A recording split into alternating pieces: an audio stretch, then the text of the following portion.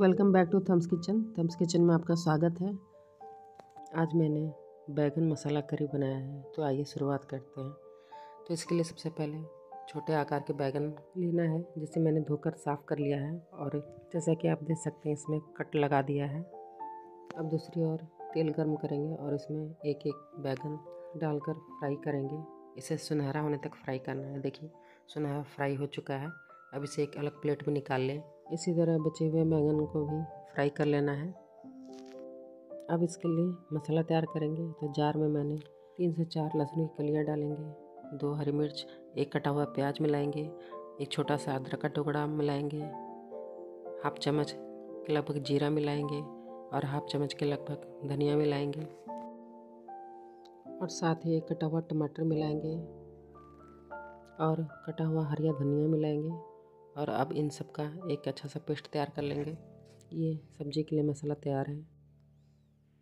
अब इस कढ़ाई से फ्राई किए हुए तेल को कम कर लें और तेल गर्म हो जाने पर इसमें हाफ़ चम्मच जीरा मिलाएँ, रेड चिली पाउडर मिलाएँ और साथ ही जो मसाला तैयार किया था उसे डालें। अब इसमें थोड़ा सा सब्ज़ी मसाला पाउडर मिलाएँ,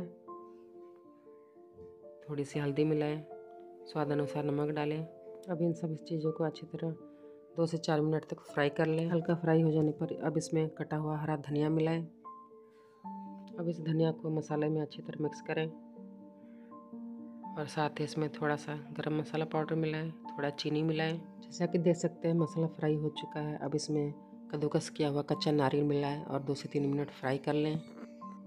फ्राई हो जाने पर अब इसमें दो से तीन चम्मच क्रीम मिलाएँ और क्रीम के साथ मसाले को अच्छी तरह मिक्स करते हुए दो से तीन मिनट और पकाएँ।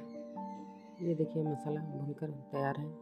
अब इसमें एक एक कर फ्राई किए हुए बैंगन मिलाएँ और मसाले के साथ बैंगन को अच्छी तरह मिक्स करें। अब इसमें ग्रेवी के लिए एक गिलास पानी मिलाएँगे और इसे ढककर दो से पाँच मिनट तक पकाएँ। दो से पाँच मिनट हो चुके हैं। ये हमारा बैगन मसाला करी बिल्कुल तैयार है। इसे रोटी या चावल के साथ परोसें।